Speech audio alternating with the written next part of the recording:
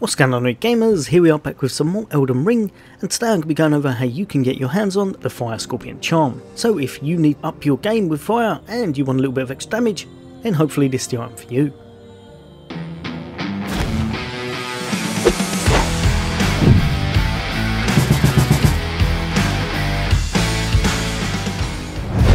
Welcome back all you guys and girls, as always, for Things Gaming, for Things Xbox, then why not hit that subscribe and bell icon. I bring you all the latest and greatest content, hints, tips, guides and builds, and just some fun gameplay reviews of upcoming games. But for today, I'm here to show you the location of something that you'll definitely want if you're trying to up the damage of your fire build.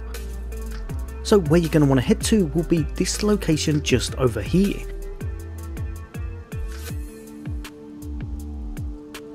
Now I tried to make it from a few locations, mainly the Road of Iniquity and Volcano Manor, that didn't work in the slightest. It's actually this spot right over here, the Erdtree Gazing Hill that you're going to want to travel to.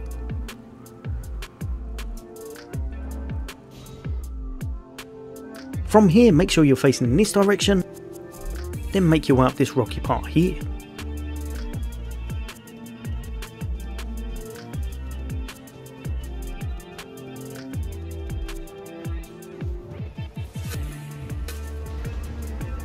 Travel straight across the water of the Wyndham Ruins, making sure you avoid the Tibia Mariner if you haven't taken them out. And you're just going to be making your way through, jumping off and collecting the graces as you go.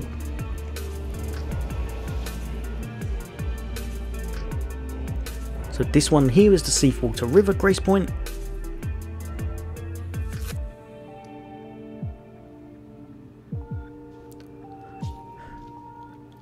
Jump on your steed again and just head off in this direction.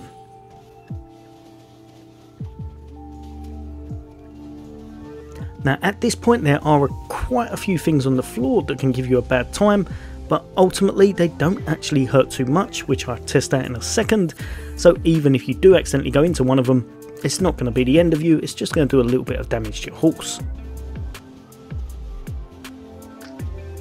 As you can see here it's 692 so unless you're really really unlucky and trying to go into all of them, you should be okay avoiding them, even if you accidentally go into a couple of them. So the grace point that we're after is this one just here.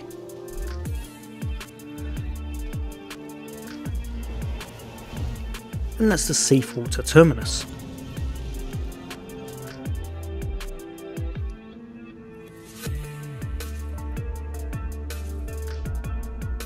Now we're just going to make it straight over to the fault.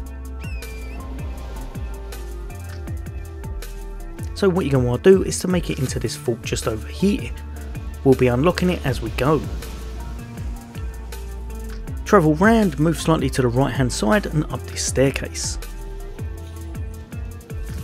Now once inside you have made it to Fort Laiedd.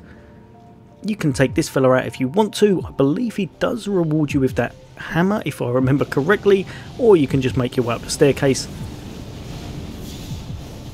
and just make your way straight through.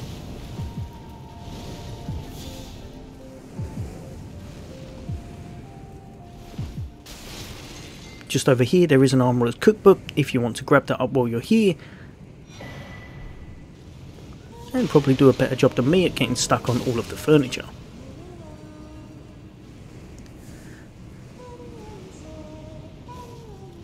Now just up at the top here, if you have a look just in the middle there, there is a slight crack in the wall that you can make it over.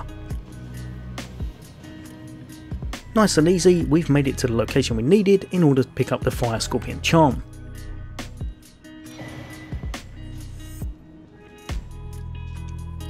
So a talisman carried by assassins who strike unseen. Raises fire attack power but lowers damage negation. Now this is an absolutely amazing talisman or charm, whatever you want to call it for any fire build, but please be aware it does lower your negation a little bit. If I show you here, it does make your stats go down quite a bit. So be mindful of that as you will get hit a little bit harder from any kind of physical attack. So versus your strike, slash or pierce. But ultimately, if you're trying to build revolving around fire, especially if it's long range, this may well be something you want to invest in. As always gamers, for all things gaming, for all things Xbox, take care. I'll see you on the next day.